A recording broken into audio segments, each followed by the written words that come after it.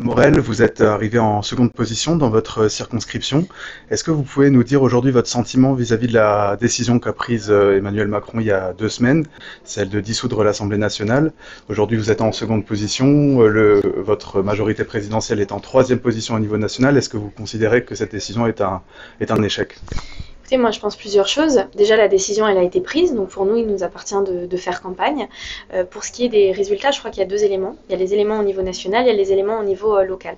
Au niveau local, je commence naturellement par euh, ce sujet. Pour ma part, rien n'est perdu, il y a un espoir. Moi, je suis déterminée à faire campagne, à battre le Rassemblement national, qui est un projet absolument opposé à mes valeurs et sur la circonscription que je représente aussi par son histoire. Il est impensable et, je me battrai de, de toutes mes forces pour cela, pour qu'il ne passe pas. Ça, c'est le premier point.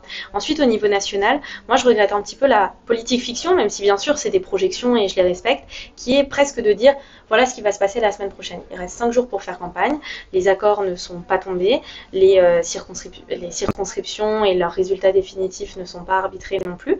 Donc euh, je pense qu'il faut dormir dessus, je dis souvent cela euh, en politique, dormons dessus, voyons les résultats demain matin, adaptons. Et bien entendu barrage au Rassemblement national. Là où il doit être.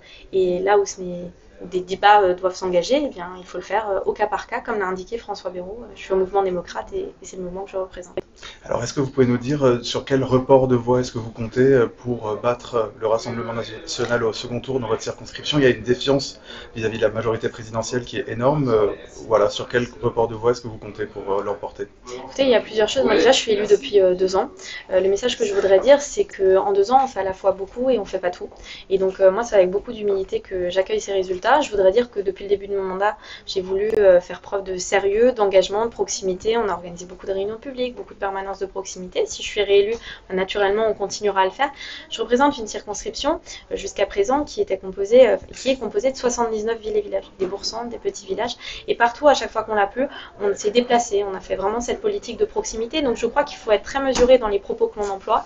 Le côté rien ne va, je ne suis pas sûre que ça corresponde à 100% à la réalité, puisque aujourd'hui, dans le cadre de ce tour, euh, je fais plus de voix que je n'en faisais euh, au second tour euh, des élections législatives il y a deux ans. C'est une, c'est une nouvelle, c'est quelque chose que, que, je note.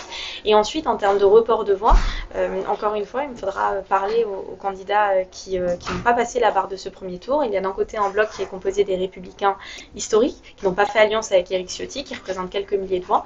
Il y a aussi les candidats de la gauche dans leur diversité. Moi, le candidat était un candidat écologiste. Et je voudrais dire aux candidats qui ont fait le choix de l'écologique, moi j'appartiens aussi à cette génération qui a envie de s'engager pour la transition euh, écologique et qui euh, considère, bien entendu et naturellement, bah, qu'on n'a pas de planète B et il faut la préserver. Et donc ce dialogue, il est absolument ouvert avec moi et, je suis résolue à m'engager euh, sur ce sujet.